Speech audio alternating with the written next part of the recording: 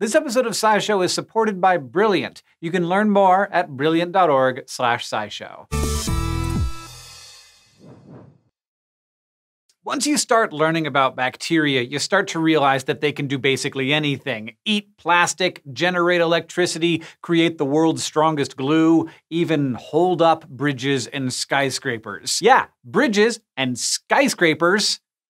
Bacteria. It's all thanks to a bizarre connection with concrete. Concrete is the second most widely used substance on Earth. The only thing we use more of is water, which really makes you realize that we build a lot of stuff. Normally, concrete's mix of cement, water, and aggregates like sand or gravel is sturdy, but it does develop cracks. Then, these cracks can fill with water and ice, which can make them expand even further, and if there's a lot of water, it can also rust the steel reinforcements that hold up your structure. So concrete needs to be maintained. The problem is, that's expensive and a huge hassle, especially if you're repairing something like the Three Gorges Dam in China or hazardous waste facilities. And since cement production is responsible for around 9% of the world's carbon dioxide emissions, replacing or reinforcing structures with more concrete is also harmful to the environment. For years, scientists have been trying to solve this problem by getting concrete to repair itself,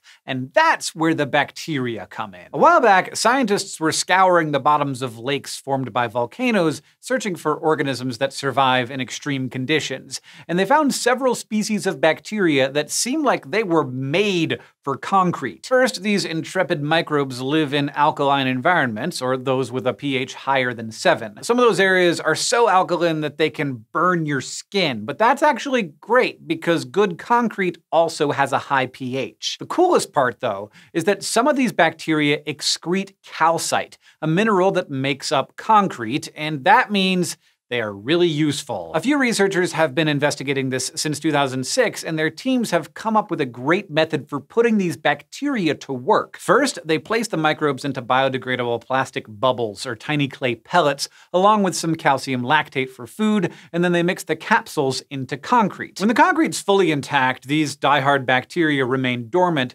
trapped in their little rocky prison. But when a crack forms, water seeps in, dissolves the capsule, and wakes up the microbes. The hungry bacteria then eat the calcium lactate and excrete calcite, which bonds to the concrete and fills in the crack. The bacteria are then resealed in their prison until another crack forms. Voila! Self healing concrete. Assorted studies have shown that bacteria can restore more than 90% of concrete's strength through this method, which is amazing. The problem right now is that this self-repairing concrete is also expensive, so you probably won't find it at your local hardware store. For now, experts think it's smartest to use in places where maintenance is dangerous and massively inconvenient, like underground chambers storing radioactive waste. But scientists are exploring ways to make it cheaper, like by replacing costly calcium lactate with a sugary food. One scientist is even developing a bacteria-filled liquid that can be sprayed on regular concrete instead of mixed into it. So someday, these microbes might help support bridges and buildings around the world. Self-healing concrete is a very cool way we could help reduce the world's carbon emissions, but it obviously is not the only one.